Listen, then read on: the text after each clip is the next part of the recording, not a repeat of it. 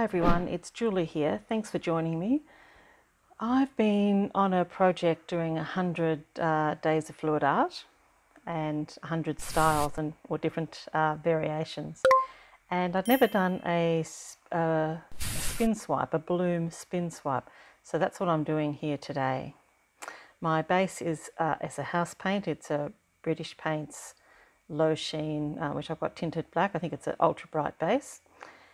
And I tried a black base once before that didn't really work so well. This one seemed to be okay. Um, I haven't added anything to it. So here is my palette knife. I've put the Cell Activator, which is the Amsterdam Lamp Black and a Australian Floetrol on the base, and I'm layering um, some pigments. Uh, I'll show you the colours of those in the, uh, the next run. So you notice that I'm using a square edged palette knife and I decided that that was actually not the best shape. And certainly my first attempt here with a loaded palette, it was I didn't do a great job of keeping keeping it flat, and I felt that the um, sharp edge was digging in as I was spinning it around. So I decided to to go again, and in this case you'll see that I've um, done a puddle pour, and um, and then just put the cell activator on the palette knife. Yeah, so that first first colour was the ColourArte um, Mermaid Scales, which is a lovely colour. And then I've got my two, two TLP, Comet and Macaw, which work really well together.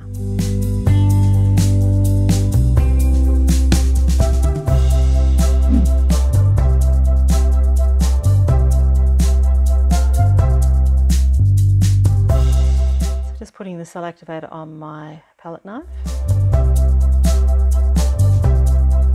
I think probably what made this slightly easier, even though I've still got the square palette knife, was just focusing on the spin and not, not so much about the loaded palette.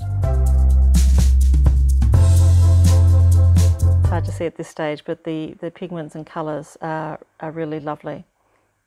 So because I'd done it, didn't get out very far with my colours, uh, I've ended up spinning this quite a lot to help the where the colour is to move out move out further and it was was good. My my cells stayed intact. They didn't. I didn't lose my cell shape as it's as it spun out. Um, which is probably a combination, which may be because of the the base was so much thicker, so it was holding it. I'm not sure.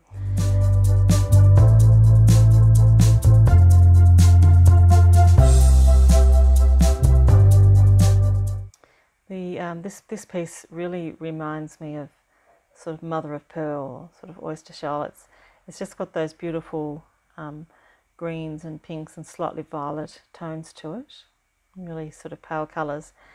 Uh, and I really, I really love it. Um, when I, I'm sure when I resin it, it's just going to pop even more.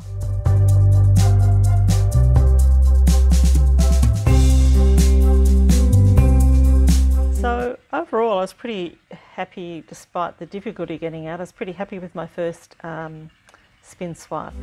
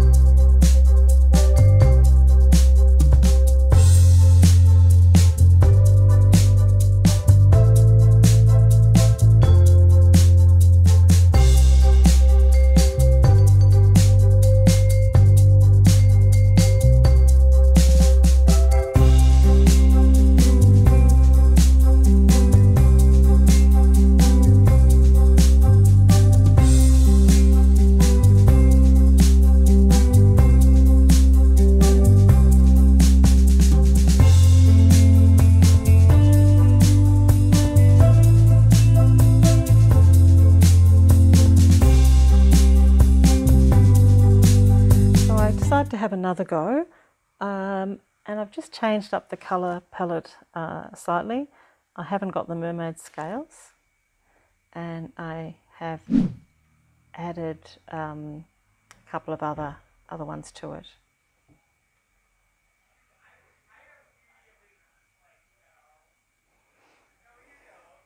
This um, this Sequins I've used before, and uh, at the time I was thinking that it gave a real purple tone, but I think it was just the mixture of colours. It's very pink.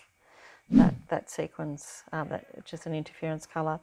Well, now I'm using TLP seaweed, uh, and I think I put that in because I'd used it recently, and it was just a really lovely, um, not bright green, a sort of a, a much more earthy green, but it had a really lovely gold hue to it.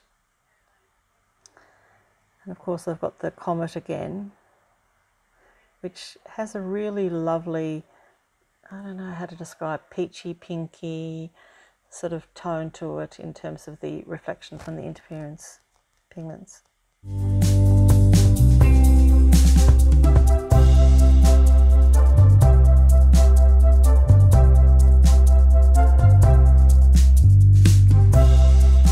Um, and you'll notice that I've done these in um, in sort of round lines, thinking that I may get some pattern with that. And uh, with the and quite a lot of the macaw on top, which um, I really loved in the other one. And I decided to um, to put that around the around the edge as well.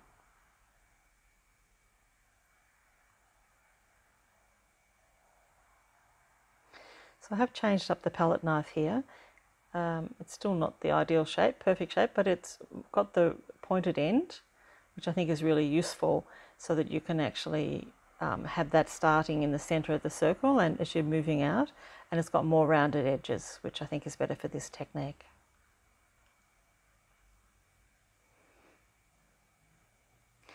So I still need to um, practice and perfect this, this technique.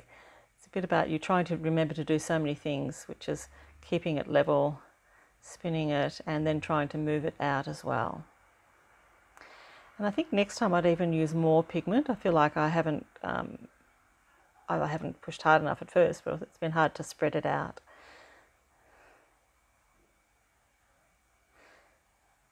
But I do like the, the different patterns that it creates due to the, um, the spin nature of it.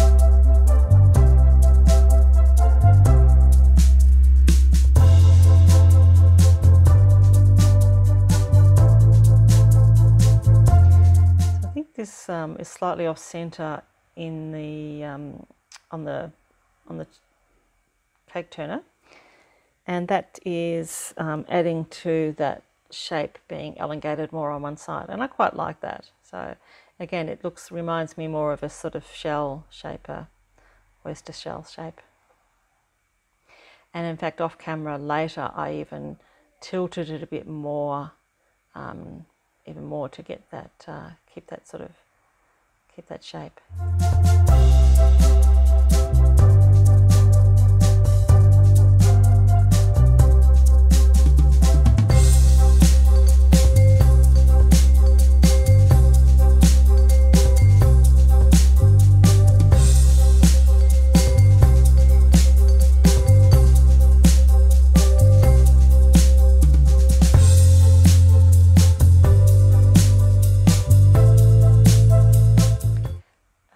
Appreciate the colours in the pigments later on when it's both dry and, and resin, which I'll show you.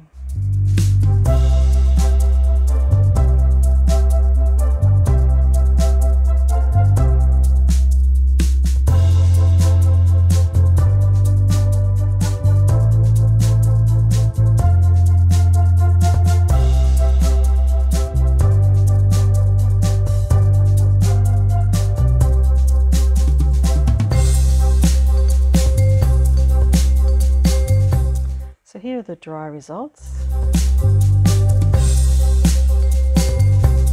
A lot of air bubbles there. I think next time I might also put a little bit of GAC or some 800 or something in the in the base paint. But the colours are really really gorgeous even now. So here they are resined.